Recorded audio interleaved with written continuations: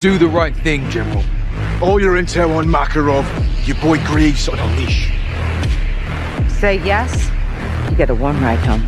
Or take a little me time and freeze to death. That's the one I'm partial to.